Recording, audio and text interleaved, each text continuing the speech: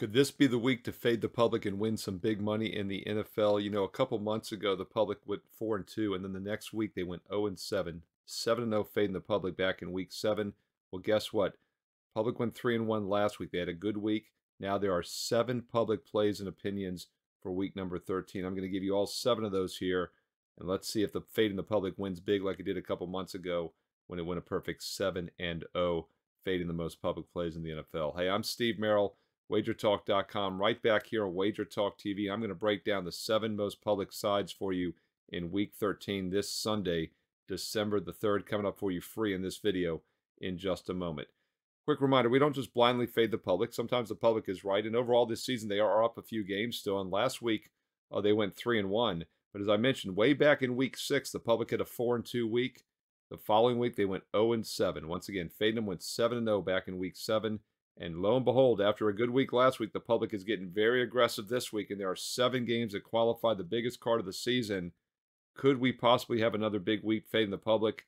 That is often how it works. I'll give you those games here in just a moment.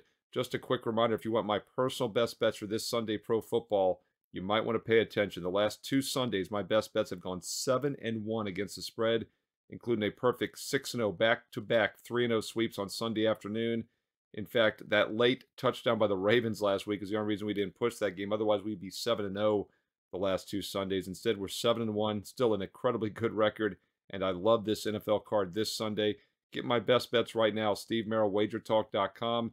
Daily package is 39 or you can do a 30-day all sports all access which gets basketball and football college and pro basketball college and pro football for the next 30 days and nights that gets you basically through all the bowl games as well for just over $8 a day. 30 day specials available right now with a very special promo code Merril30. Go use it right now on my page, SteveMerrilWagerTalk.com. All right, let's get into the NFL Fade the Public video here for week 13. I have four public sides for Sunday, also three additional opinions, including the Sunday night game and a public underdog as well. First, though, let's look at the four official plays. Uh, they go at 1 o'clock Eastern this Sunday. We'll go down in schedule order. LA Chargers. Chargers getting some public love, and it's not a surprise. In fact, one of the reasons the public is up a few games this year still is because they have faded basically the Patriots and the Panthers every single week, and they've made a lot of money doing so. We're going to talk about that Panther game in just a moment. Not a surprise. Uh, spoiler alert: they're fading the Panthers once again this week, but they're also fading the two and nine Patriots, who are not just two and nine straight up, but they're also two and nine against the point spread. They've been a huge money burner. And this is often how it works when you have a dynasty like the Patriots for several decades with Belichick and Brady, and they're not as good anymore. It does take the betting market sometimes to catch up. And, you know, last week the public cash with the New York Giants as a public dog. I thought it was a good spot for the Patriots off their bye week against a bad New York Giants team. They still could not get any offense whatsoever.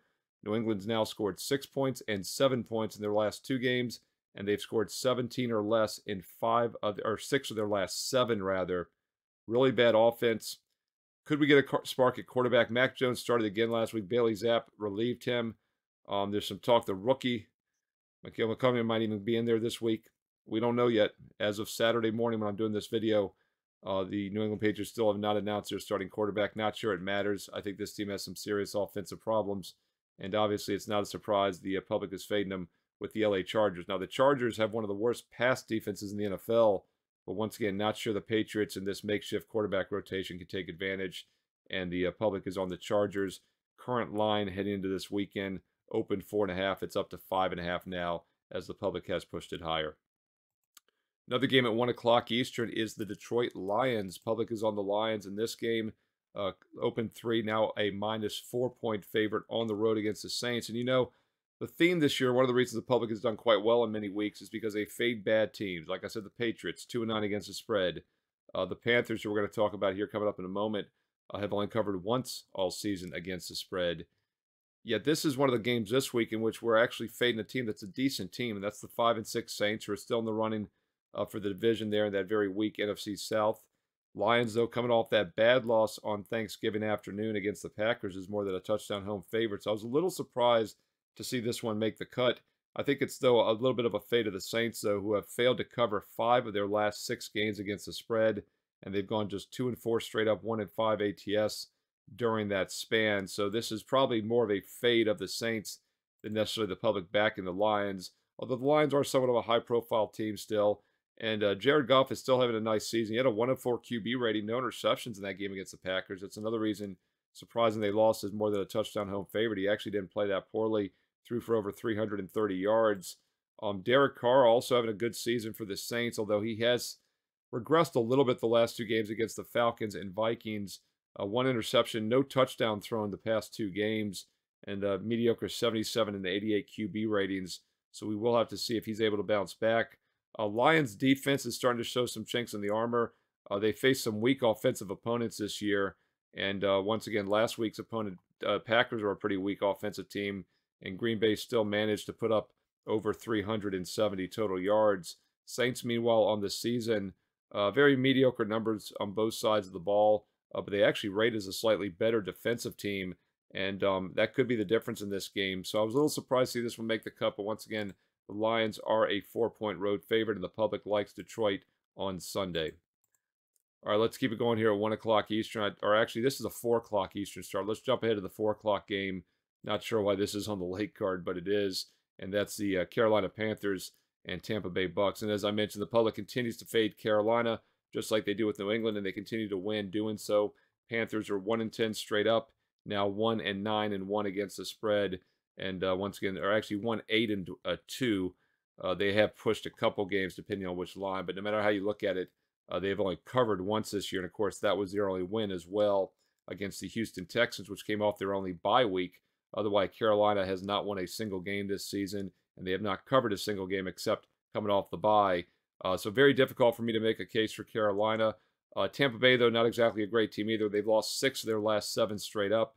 Um, they have been a dog in six of those, uh, five of those last seven games. And now they have the uh, rare uh, situation of being more than a field goal favorite. In fact, they haven't been favored by more than a field goal in any of those past seven games. And now they're laying uh, five to five and a half at home. So it's a bit of a role reversal. Um, Baker Mayfield obviously having a better season than Bryce Young. Carolina's offense is the worst in the NFL, and they have absolutely no passing attack whatsoever, now averaging 4.7 yards per pass. Tampa Bay has been a below average pass defense, just not sure Carolina can take advantage. Uh, Tampa Bay has absolutely no run game, one of the worst rushing offenses in the league, and Carolina has been better against the pass this year than the rush. So, from a matchup perspective, it's not terrible for Carolina because they have a good pass defense against a one dimensional passing attack of Tampa Bay yes, the Panthers have been terrible offensively, but they're now taking on a very mediocre, uh, below average, actually, Tampa Bay defense. So could this be the week Carolina finally gets a win and a cover? We'll find out. But the public is fading them once again. And uh, one of the main reasons the public is up about five games this year, above 500, is because fading the Panthers and the uh, Tampa Bay, uh, I'm sorry, fading the Panthers and the New England Patriots combined has gone now, what is it, 17 2 and 2 against the spread. fading the Pats and the Panthers has gone, no, I'm sorry, 17 3 and 2 against the spread. So you can see why the public has done well overall this season. Just fading the Panthers and the Patriots has really been the difference. And they're fading them once again with the Tampa Bay Buccaneers. That's a 4 o'clock Eastern game. The other game at 4 o'clock Eastern also made the public cut, and that's the Miami Dolphins. Not a surprise here. Uh, the Washington, not my Washington Commanders, have been just horrendous over the last month. And this is a team that traded away both starting defensive ends at the end of October at the trade deadline with Sweat and Chase Young, and now it's showing. They've been just terrible defensively. In fact, they've gone over three straight in four of their last five games. Only game that stayed under stayed under by a field goal, and that was New England. And keep in mind that game had 37 points after the third quarter, and it still only stayed under by a field goal, no score in the fourth quarter. So the Redskins, pardon me, the Commanders have no defense whatsoever, and it's showing. Problem is they don't have much offense either. They've scored only 19 in fact, they've scored 20 or less now in three of their last four games. Uh, but three of those last three have all gone over because their defense has been so bad. And this is not a good team to be facing with a bad defense. The Miami Dolphins, uh, the most explosive offense in the NFL, and they faced three or four other really bad defensive teams this year. And they've averaged over 40 points a game, over eight yards per play, over 500 total yards. So it really is hard to see the Commanders slowing the Dolphins down in this one. Uh, so not a surprise. Miami is a public side.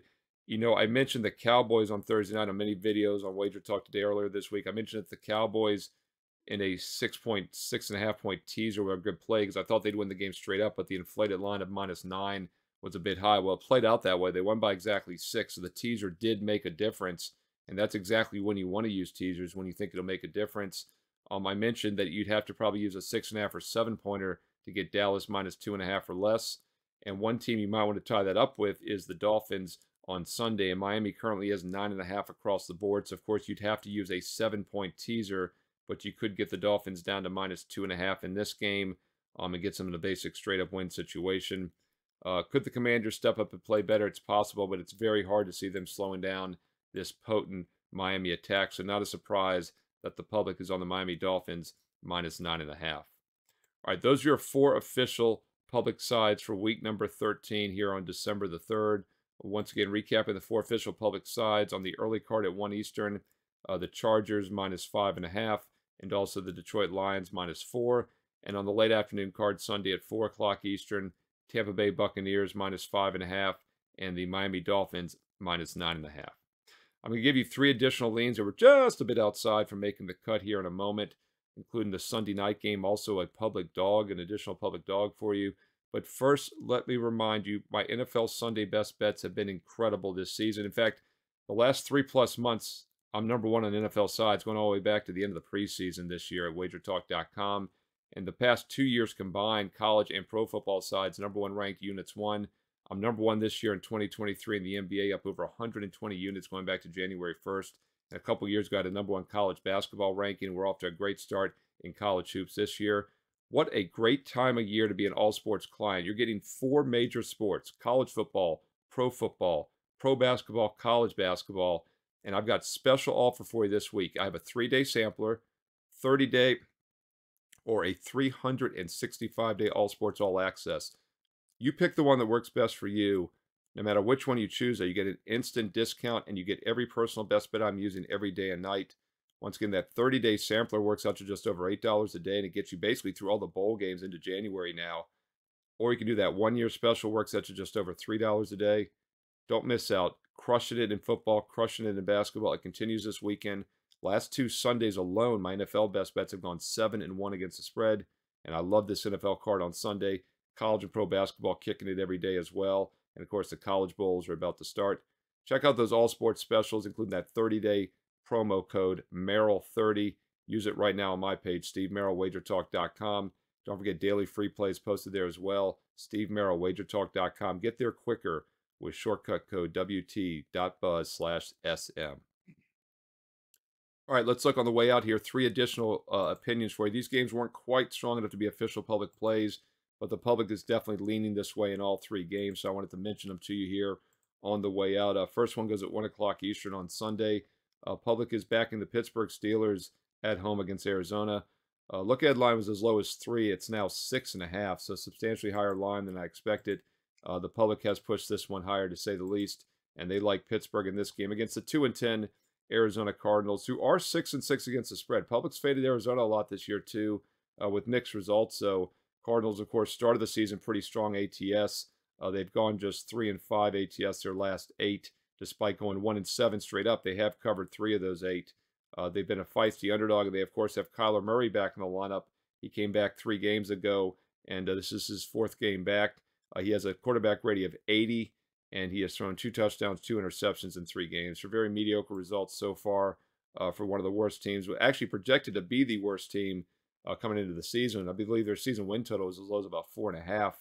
At two and ten, they might not get over it, but obviously, uh, Buccaneers, Patriots looking equally as bad this year, and the public continues to fade these bad teams with success, and they will do so again with the Pittsburgh Steelers. Uh, Kenny Pickett for the Steelers, very mediocre season as well. Quarterback, in fact, uh, Pickett has only one touchdown pass in his past six games.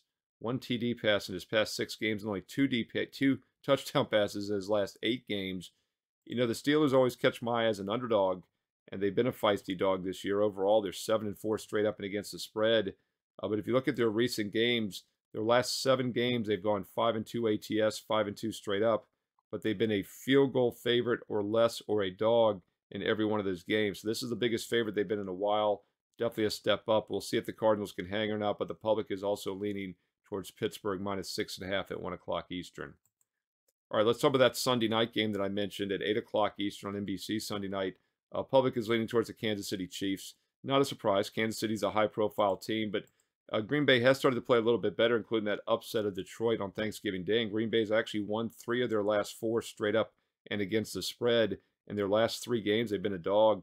So I was a little bit surprised that the public is fading them here, but it's hard to disagree. Kansas City looks like the superior team, and this line is probably a little bit cheaper than it would have been just a few weeks ago. Look ahead was as high as seven. It's now down to minus six, even five and a half in many locations. Uh, but the public is leaning towards the Chiefs minus six. Uh, obviously, Patrick Mahomes, a huge quarterback edge over Jordan Love. Uh, Mahomes having a pretty good season. He's been inconsistent at times, uh, but still six touchdowns, only one interception in his last three outings.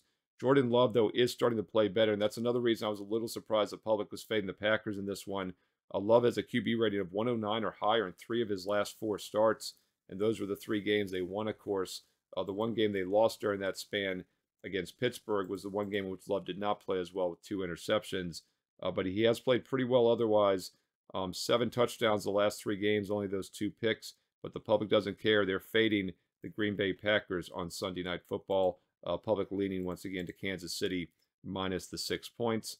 And then finally, uh, that one public underdog I wanted to give you an additional lean as well, and that's on the Philadelphia Eagles.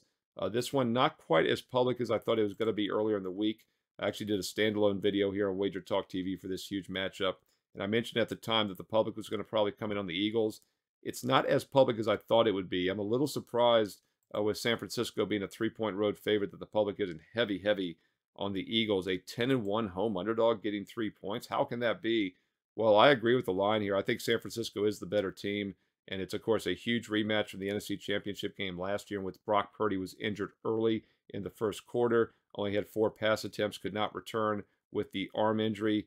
And uh, that really was the difference in this game. Philadelphia dominated after that. Even though the game was still tied 7 7 mid second quarter, uh, Philadelphia ran away with it after that. San Francisco just had no offense without Purdy in the lineup. That'll be different this year. And you do have to wonder if the Eagles are playing on borrowed time. This is a team that's come back from multiple double digit deficits several weeks in a row now. Their last five straight up wins, they've trailed. And uh, this is a situation which maybe they're playing on borrowed time. But once again, 5 0 straight up, 4 0 and 1 ATS their last five. Not a surprise that the public is leaning towards the Eagles. But once again, it's not as public as I thought it was going to be. We'll call it an additional lean. Uh, this is the one public dog this week. Uh, Philadelphia Eagles currently plus three. That kicks off at 425 Eastern on Sunday. All right, those are your seven plays and opinions for this Week 13 NFL Pro Football. The most public sides on the board. Hey, look, the public's not always right, but the public's not always wrong either. We selectively choose our spots where to fade them, but keep in mind, back in Week Six they went four and two, and they came back and went 0 and seven in Week Seven. Last week the public went three and one. Could we have another bad week for the public? We'll see. Seven plays on the board. Comment below. Let me know your thoughts where you think they're right or where they're wrong, where you agree or disagree with these public sides. And also chime in with your other best bets. Throw in some analysis as well so we can learn and earn together here in week 13. And don't forget about those NFL teasers and player props as well. always like to talk about those in the comments below. I read all the comments, I reply back. I love the support. Thank you for watching. Thank you for commenting. Thank you for thumbs up, liking the videos. That helps keep everything free here on Wager Talk TV. And don't forget to hit subscribe and hit the bell for instant alerts. You know when this video goes live each and every week. It's usually up on Saturdays. And I also have solo standalone videos throughout the week for numerous NFL games, also college and pro basketball games during the week. So hit subscribe, hit the bell for instant alerts. And don't forget, if you want my personal best bets for this Sunday Pro Football, I love this Sunday's card. Seven and one the last two Sundays. My best bets have gone seven and one the last two Sundays in the NFL, and I love this Sunday's card. Check out my daily packages right now or if you're serious about making money, you really should consider one of the All Sports All Access special offers this weekend as it gets every play college football, pro football, college basketball, pro basketball every day and night. I have a three day sampler, a 30 day, even a 365 day, which works out to just over $3 a day. You get that 30 day sampler, it works out to just over $8 a day. That gets you into January, gets you basically all the bowl games, NFL through the regular season, college and pro hoops every day number one in the NBA this year. I'm up over 120 units since January 1st this calendar year in the NBA. Number one rankings in the past in college hoops, off to a great start this year once again. And also number one college and pro football sides the past two years combined at Wager Talk.